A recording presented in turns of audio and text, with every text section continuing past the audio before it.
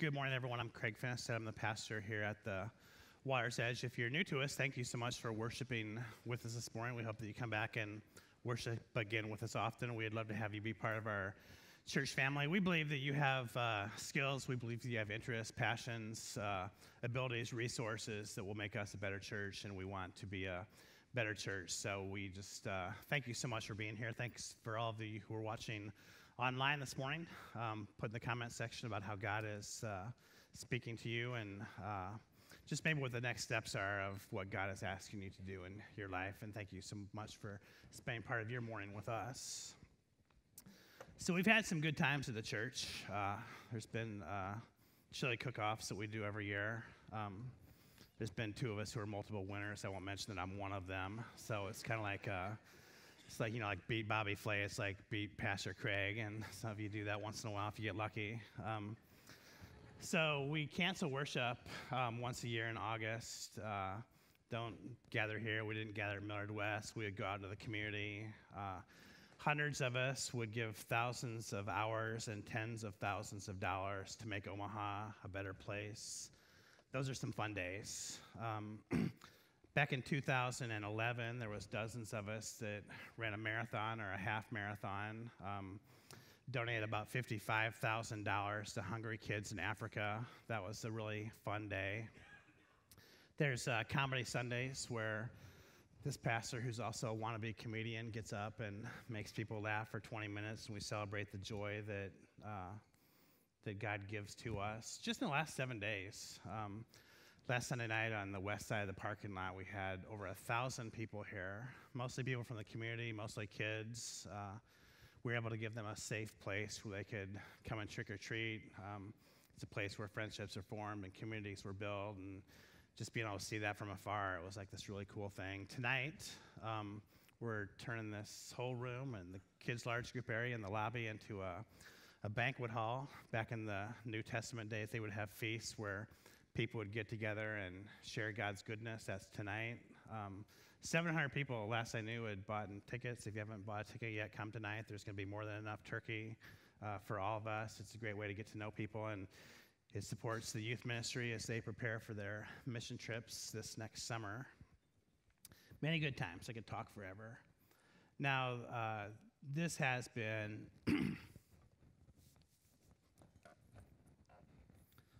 the toughest week in our fairly short history as a church. Um, I did two funerals this week. Um, been staying on the stage way too much. Uh, one was on Tuesday, one was on Friday. Both were people who were younger than me. Holly Sunderman was one of them. Um, she died after a courageous two year battle with, with cancer. Holly was this beautiful woman. She was confident. There was always a sparkle that was in her eyes. She was a, a loving wife, a dedicated mother. Um, her two sons, one's a sophomore at Millard South, and one's a college football player. He plays in Missouri, and um, she has these wonderful, wonderful parents uh, who are part of our church as well. Now, um, she excelled at her job as secretary at Reagan Elementary School. Um, it didn't matter if the kid was in kindergarten or fifth grade. It didn't matter if the parent that came in was happy or grumpy. Um, I can't imagine she didn't greet every one of them with a smile. You know, she was a ripple creator and uh, a wave maker. You would have saw that if you were here Tuesday. Uh, this room was absolutely full. The doors in the back were open and people were standing. Um, now, Holly and her parents, they started coming earlier this year, but you all totally embraced them as if they have been here our entire history. Um, you you, uh, you gave us a glimpse of what the church can look like and being the church. Now, the media will tell stories of the church at its worst. You can actually open up the front page of the World Herald, you can see one today. But what we observed this week was the church at its absolute best, caring for each other, selflessly serving, loving with no strings attached, proclaiming the gospel um, to a broken and a hurt, hurting world, sharing the promise of God's abundance and eternal salvation that comes as a gift through the grace of Jesus Christ.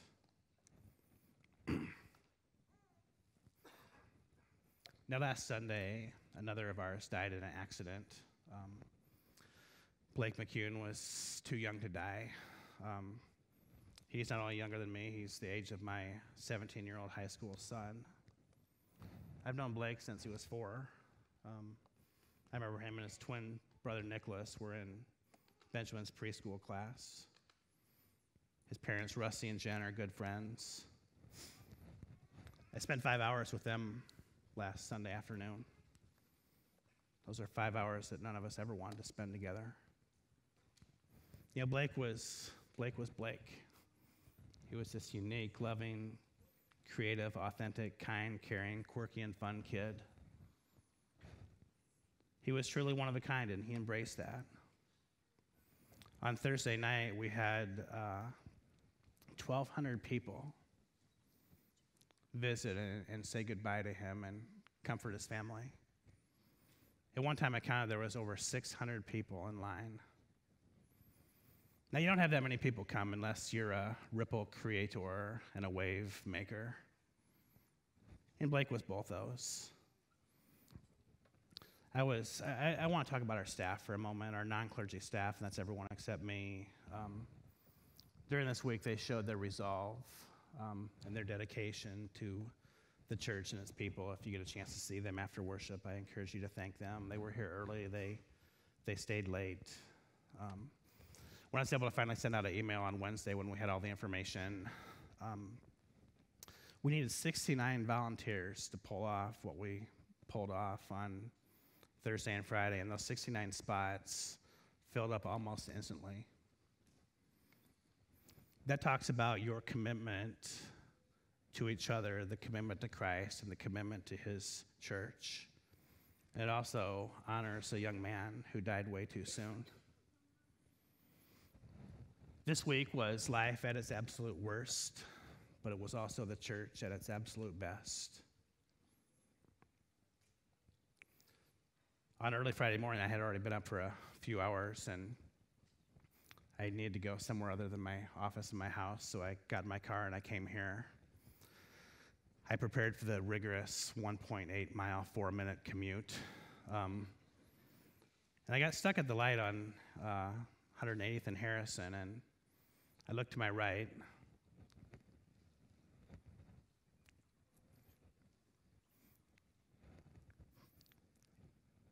And there was a cross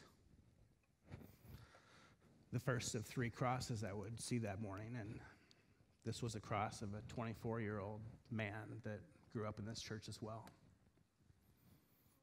A man who was a fighter, a man who overcome, a man who persevered, a man who died way too soon. It was just over three months ago that I was up here at this very place and full of, front of a room full of people saying goodbye to another that died too young. So, about 30 to 45 seconds later, I looked to my left and I saw another cross. This was the cross that had been erected since Sunday morning when Blake passed away. Blake and Evan, they actually remind me a lot of each other um, ripple creators and wave makers. Charismatic, giving, kind young men who loved life and loved people and passionately loved God. So I got to the parking lot here and I just couldn't take any more. I finally broke down. I sat in the empty car in a parking lot just south of this room and I stayed there for a while. I got a lot of messages this week. Thank you for all your support. Um, it's a glimpse of what the families were going to, but just want to thank you for your support and I haven't had a chance to respond to many of them yet, but one message I got was really interesting, and it was from a high school girl. Um, and she asked me a question, and the question was this How do you keep your faith on a week like this? So I looked up at the third cross that I saw that day. a cross that hangs up on this building, a cross that changes colors. I eventually got on my Volvo. I walked into the church, and it was an empty church. Uh, I did the same thing I did three months ago. I came into this room, I turned on the lights, and three months ago I hung out with Evan, and two days ago I hung out with Blake.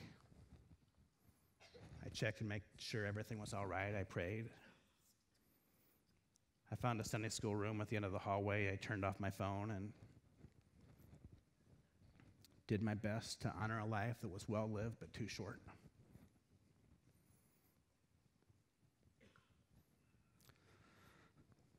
Over a thousand people came here on Friday. That's how you honor a ripple creator and a wave maker. Our seating capacity in this room is 550 people. Again, the staff and the volunteers exceeded any expectations, and somehow they made it work. Blake's dad, Rusty, and I were emailing a little bit back and forth yesterday, and um, he wanted me to thank the church. When I talked to uh, Kurt Sunderman as he left on Tuesday, he wanted me to thank the church. So here I am. These families, they say thank you. In their darkest, in their toughest, in their most challenging moments, they thank you for being the church. So thank you for caring. Thank you for serving. Thank you for praying. Thank you for showing up. Thank you for giving. Thank you for being their people. It's been a tough week, but this week has been our church at its absolute best. So after the dust settled and the people left and I had some time, I replied to that girl's message. Remember the girl that asked me, How do you keep your faith on weeks like this? Have you ever asked a question of someone and then they ask you a question back and that's like really annoying? yeah, that's all I had. That's what I did. Um, it's the best I could do, and it's the best I can still do. And I said, How can you not have faith during days like this? How can you not cling to the cross? How can you not trust the promises? How can you not believe that like there's something out there that's that's bigger and greater and grander than any and all of us? Now it just so happens that faith is on the schedule of what I was supposed to talk about today. We plan these things months in advance, and faith is the topic today. Now we're in the middle of a series called Create a Ripple. Um, and it's actually a, a, yearly series we do on money. And in a way, I was thinking about this this morning. Money just, it did not seem appropriate to talk about today. But then I realized that money is totally appropriate to talk about today because money's not about money. Money is a spiritual thing, and anything of spirituality is something that we need to talk about. You know, the first week during Create a Ripple, we talked about prayer. And we talked about like creating ripples in life, and I've talked about two ripple creators and two wave makers. These lives that were too young, but these lives that were impactful. So we talked about prayer, and we said that the best ripples are going to be created by our best prayers.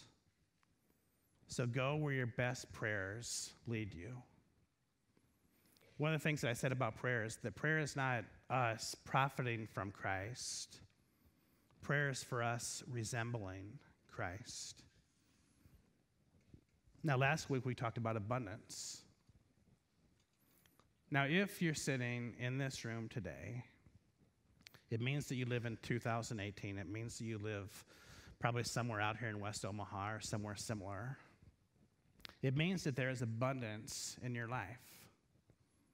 The moment we realize that there is abundance in our life is the moment that we can create a ripple, which will eventually become a wave. You know, we talked about um, two things greed and comparison. Greed and comparison will take us from this place of abundance to scarcity, where gratitude and generosity will take us from scarcity to abundance. Now, let's just look back on our history. Um, we could not have done what we did this week. I wish we didn't have to do this week. I wish that this was like the previous seven days were the most boring seven days in the history of the church, but they weren't. It's reality, it's life, it happens. We could not have done what we did without the generosity of the people who have gone before us. You know, so on Sunday night, there was this great big thing going on over there. You know, on Sunday night, there was this really tragic, sad thing going on over there. I think it was probably 6:30 when I left the preschool parking lot. The sun was setting and the family was leaving, so I left too. And I came here, an hour later, at 7:30, we had uh, a prayer vigil for Blake and his family. This place probably had 250 high school students and another 50 to 75 adults. We had a place that we can go because of the generosity of the people. I remember I, I like when I started, I, I, sat right here. I didn't stand, I sat. And I just talked to the kids, and I said, I don't know what just happened. I don't even remember what I said. Um, the people who were here probably don't remember what I said. You know, then like, you know, I stood up, we sung some songs. Then there was this magical moment.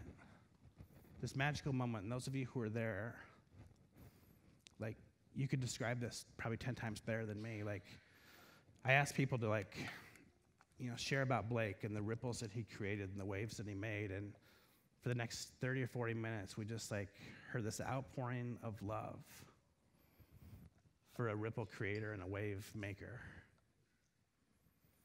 We could not have done this a year ago. It just wouldn't have happened. You know, we couldn't do our funerals with the excellence that we do them. It, it would not have happened. We can't have huge gatherings, um, you know, here in this room and other rooms, whether it's a funeral luncheon or a turkey dinner, without the commitment and sacrifice of many of you in this room. You have created a great big ripple. Well, you actually create a little ripple, and it's turned into a great big wave. It has allowed us during our time of need to care for one another. Now, we're doing Create a Ripple. It's a three year campaign. It starts January 1st and it ends um, December 31st of uh, three years later, so 2019 to 2021. And really, what we're trying to do is a very spiritual thing. We're trying to reduce or eliminate our debts so that um, we can do more mission and ministry and pay less debt and interest. That's one of the things we're trying to do. The other is we're trying to put ourselves in a position where we can expand our facilities in the years to come. Like a successful campaign will do that. Now, two weeks from today, we're going to turn in our three year commitment. Some of the families have already turned in theirs. I made an announcement a couple weeks ago that 20 of our families have pledged to give $806,000. That's an average of $40,000 over three years. Um, I'm going to make another announcement next week about uh, some additional families who have given since then. And then also on that day, we're going to um, pledge to support the budget for 2019. Now, the budget's not a money document, the budget is a vision document. This year it was about $920,000. Next year it's going to be over a million dollars. Um, since March, when we've opened up, our church has grown by over more than 40 percent. Um, now, our budget's not growing 40%. Our leaders and our staff have been diligent, and that increase is going to be less than 10%. But both these, uh, you know, we have the opportunity to support them for, for now and for future generations as well.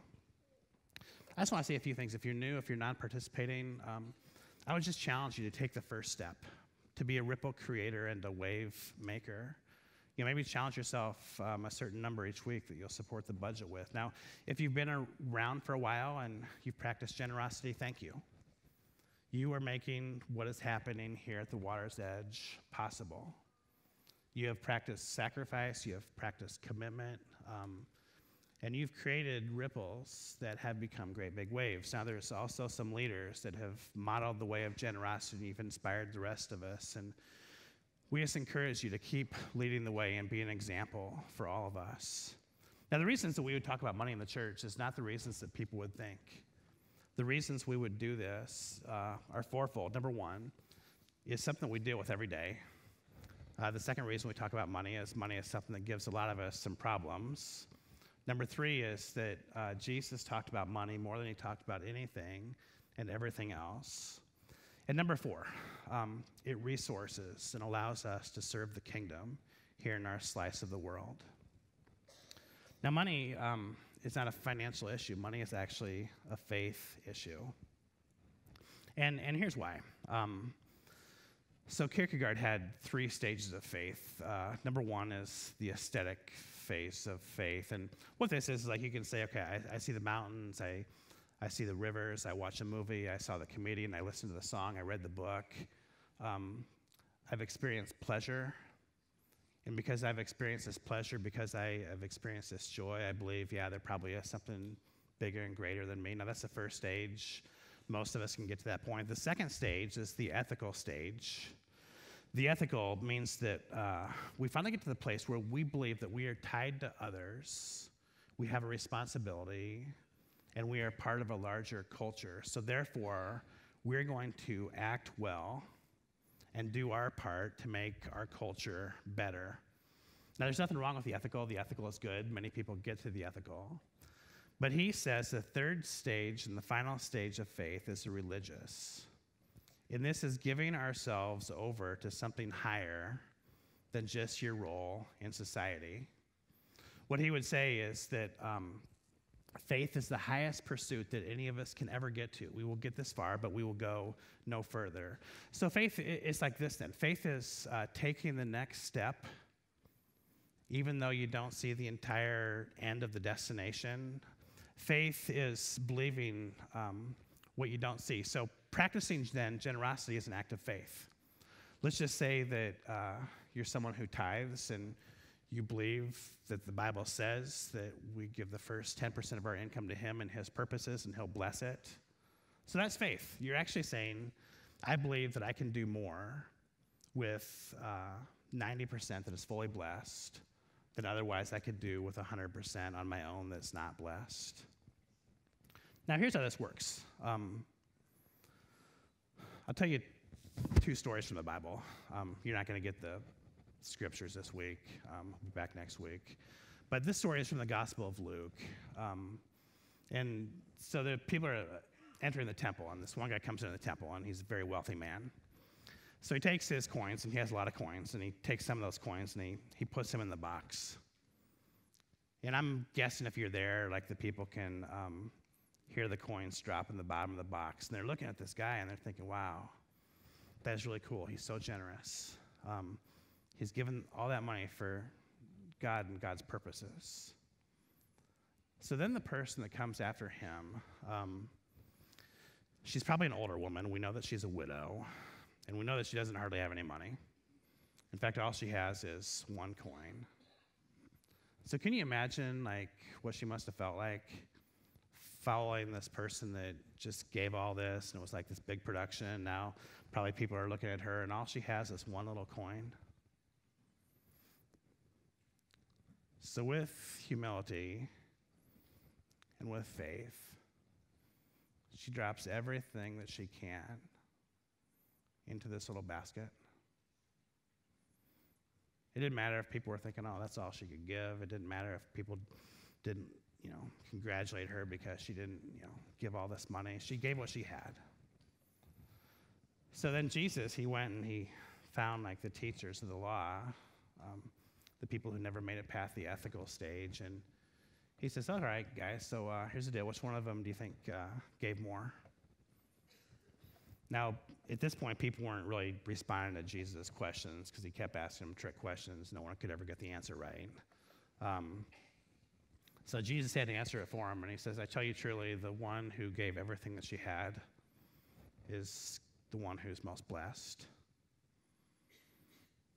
You know, it wasn't about just giving a little bit from our excess. It was about faith and humility and trust that I'm going to trust in the creator of this coin more than I'm going to trust in the coin itself. I'm going to trust in uh, God's provision more than I'm going to trust in any provision that I have. then there's another story. Um, so Jesus is preaching one day, and there's a ton of people there. There's 5,000 people there. So Jesus would have started in the morning. We get a clue in the early part of the scripture. And then later in the scripture, it, it, said as the day was getting long, which in the Greek would have meant is the, um, is the sun is uh, starting to set. So at this point, Jesus would have been talking for a long time. Can you imagine, like, if I was up here for four hours talking, like, um, well, first of all, none of you would still be here. Um, but that'd be like a long sermon, so you're getting hungry after a while. So the disciples, they have the, this little committee meeting, and they go up, and so some of those guys go tell Jesus he's got to be quiet. Um, you know, we're hungry, the people are hungry. So one of them went up and it's like, uh, Jesus, um, can you just like one minute, just one minute? Now, uh, we've greatly appreciated your extensive teaching on basically most of the New Te- all the Old Testament this morning, and we're wondering the people have uh, the people, you know, they're getting hungry. Um, so maybe we could like take a break. And we love the teaching; it's awesome. Like, you know, if it was us, we'd be here all night. But it's the people. So then Jesus is like, "Oh, the people are hungry, huh?" Yeah, yeah, the people, they're they're hungry. Um, so uh, Jesus looks at him and says, "All right, well, you go feed them." Like what? Well, you go feed them. You're the one that says they're hungry. So then he goes back, and the 11 others are there, and he says, Yeah, we're supposed to feed them. Like, well, there's 5,000 of them, and there's like 12 of us. How's that going to happen? Yeah, I'll go ask Jesus. Um, yeah, we don't know how this is going to work, Jesus. Um, he's like, oh, well, you figure it out. It's your idea. So he goes back. He says, yeah, he told us to figure it out. So they took a collection. They went to Long John Silver's. Um, they got five biscuits and two fillet of fish. They put it in the bag. They went back to Jesus, and they said, all right, this is what we got. And then, like, the miracle happens. You know, they go around, they, they feed everybody, and there's more than enough food to go around. But what had to happen before the blessing? What happened to happen before the multiplication? There had to be something to multiply. You know, it's just 12 people putting what they had together, putting it in the hands of God and allowing Him to do the miracle. Now, you think this is far fetched. This is not far fetched. This happens. It's happening right here among us. Yeah, I remember the first person I ever talked to back in 2005 about the water's edge. I asked him if he would give us $10,000 to get started. We didn't have a name yet. I had about three or four people that were affiliated with the movement. And he was in his mid 70s at the time. He's in his mid to late 80s now, and he wrote me out a check for $10,000. That's called faith. Now, he was here the first day we had a worship service in mid March, and what he experienced on that day was multiplication. His little bit put into the hands of the Creator becomes a lot. You know, he called me up on Monday morning and said, You know, Craig, um, you got a big week in front of you, and I'm praying for you. We have two of our families um, that were among our 21st givers. The group that has pledged to give $806,000. Two of these families have, during this entire time of the campaign, they will have, um, they will have six college students among them. Yeah, the two families together have managed to uh, scrape up $53,000 that they're going to give over three years. Not to me, who was complaining that I have one college student during this campaign. Um, that's a very inspiring gift that these two families have given. I'll tell you right now that that gift is going to multiply. It gets put in the hands of the Creator and allows the church to have the resources to be the best church. Yeah, I'll, I'll tell you this it, it takes faith. It takes faith to create a ripple. Now, here's the reason why it takes faith to create a ripple because you create a ripple, you're giving out of your abundance. You're giving something that you have, you're giving something that has some value to you. And there is absolutely no guarantee that this ripple will ever become a wave. You may create a ripple and it, it just might fizzle out. You know, that smile that you give to someone, that act of kindness, those encouraging words, that thank you note, the financial gift, whatever it is, there is a chance that it will fizzle out, but there's also a chance it'll become a wave. And there is no wave that has ever been created without being a ripple first. So God is leading us to continue to be a church of ripple creators and wave makers. All we got to do is remember uh, Holly and Blake, right? Think about all the smiles that she gave at the school. Think about all the sports teams that she organized, all the ripples it created, and the room was full. People saying thank you to a ripple creator and a wave maker. You know, the kid like Blake, like, this one's personal to me. Like, he was a ripple creator in my life and the life of my kids. You know, David, the sixth grader, was in a small group, and David absolutely loved Blake. I asked David, I said, Tell me about Blake. And he says, Blake tried to make me happy. Blake put a smile on my face. Blake challenged me to be better. That's what a ripple creator does. That's what a wave maker does. You know, my older son went to a different high school. Um, it got a little bit tough for him. Um, he didn't know the kids as well as he used to, and there was always one kid that uh, would come up to him regardless, and it was his preschool buddy Blake the ripple creator and the wave maker. You know, I, I pray for us the church that um, we become a church, that we become people that all we do is just create a bunch of ripples and we put these ripples into the hands of God, and God will do the multiplication, God will do the increase, and we will marvel. We will marvel at these waves of mercy and power and grace and love and faith and hope that God has created among us. So let's pray.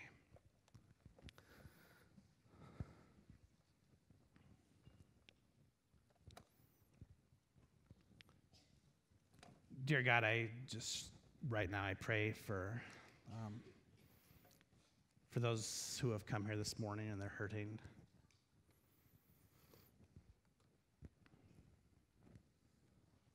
Lord, comfort us. Continue to give us the, the gift of each other. Fill us with your presence. Lord, during those times of doubt, give us faith. During those times of anxiety, give us faith. During um, those times when we just hurt, fill us with faith. Lord, help us to continue to take the next step, even though we don't see the final destination. Lord, help us to believe where we can't fully see. God, I pray that you comfort us in our loss, that you give us hope for a future. And Lord, we come as people who are grateful. We come as people who are grateful for Jesus Christ, that, that you sent him to the world, that you uh, empowered him and equipped him and inspired him to teach us about abundance, about gratitude, about, about generosity, about healing, about hope, about faith. And God, we also take comfort in the fact that you know what it was like to lose a son. You saw him die a painful death and resurrected him from the dead so that we could experience abundance in this world and eternity in the world to come. So, God, Jesus was a ripple creator and a wave maker. And Lord, I pray as we leave this place this morning that you will equip us and empower us and inspire us and give us boldness and courage and in faith to be ripple creators and, and wave makers. God, help us to give to you and trust in your multiplication, to trust in your increase. And Lord, as a community, we just can't wait to see the waves that you're going to create. So, Lord, together now in one voice, we come and pray the prayer that you taught us to pray. Our Father, who art in heaven, hallowed be thy name. Thy kingdom come, thy will be done on earth as it is in heaven. Give us this day our daily bread, and forgive us our trespasses, as we forgive those who trespass against us. And lead us not into temptation, but deliver us from evil. For thine is the kingdom and the power and the glory forever. Amen. Hey, just uh, two things. Number one, um, we have a lot of flowers in the front of the church. Now, this is a very small comparison to the number of flowers that we had in the church on Friday. Um, talk to Blake's family, and what they want you to do is uh, come and get some of the flowers. Um, just go give them to someone who could uh, use a ripple or a wave in their life today. You can take them to a fire station. You can take them to someone in your neighborhood that's going through a hard time. You can take them to someone that you know is going through a hard time. You can just take them and give them to a friend and make that friend's life better. That would be a real blessing uh, to the McCune family, and it's going to be a real joy to someone else as well. So come and get the flowers. We don't want any flowers here when we leave today. We do have a prayer team in the back um, right hand side of the church. Um, they are here willing and wanting to pray with anybody that wants prayer after the worship experience. And I'm going to actually go to the front uh, left hand side of the church over there, and I'll be uh, just eager to pray with anybody as well today. So have a great uh, Sunday today. Don't forget about the turkey dinner this afternoon tonight, and we'll see you all here next Sunday at the Water's Edge.